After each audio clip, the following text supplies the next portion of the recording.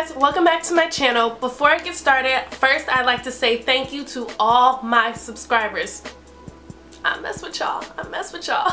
and I also want to thank all the people who leave comments and feedbacks on my video. Trust me, everything you say to me is being taken into consideration. I have a whole list of videos that I'm trying to get out, but I'm still trying to figure out how to balance school and work while also putting out videos in a timely manner. So please just bear with me. So I'm adding a new segment to my channel called Black Society. Um, the other day I wrote an essay, not for class or anything, but literally just to write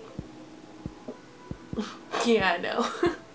don't, don't ask. My essay is about the main factors that I believe are affecting the black community and how we as the victims can take initiative to change the fate of our people, our culture, etc. But to keep you guys from feeling like you're sitting in a super long boring lecture, I'm going to split the main points into separate shorter videos and I'm also going to add in some clips and some gifs and all that stuff for a little comic relief while still getting my point across. So here's a little bit of foreshadowing. There's going to be a video about poverty in the black community. There's going to be one about media being probably the number one culprit as far as the destruction of the black community. There's going to be one on why the system is not failing us. There's going to be one on why I believe we should stop protesting and I'm also going to chime in a little bit on the Mike Brown Ferguson situation.